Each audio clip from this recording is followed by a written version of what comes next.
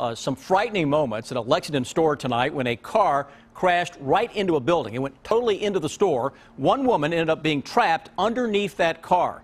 It happened about two hours ago at the AT&T store over on South Broadway, very busy place, especially at rush hour. WKYT's Monique Blair arrived there just minutes after that crash, and she's live now with the breaking details. Monique?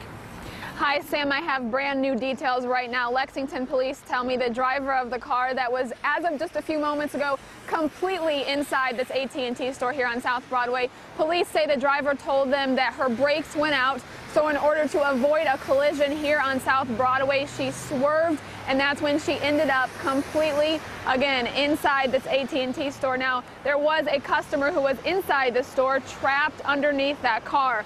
We did see that woman as she was trapped because we were right across the street when this happened. Now I watched as firefighters pulled her free from that car. Police tell me she was taken to the hospital, but her injuries are not serious.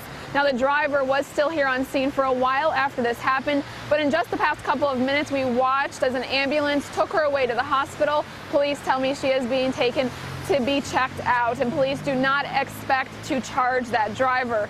Now, firefighters say there is surprisingly not any serious structural damage to the store here, just a couple of broken windows and broken doors, and of course, a lot of glass. And you can see there is also a tow truck here on scene taking that car away. The car that you see um, on the back of that tow truck was the car that was inside this store. I'm reporting live here in Lexington. Monique Blair, WKYT.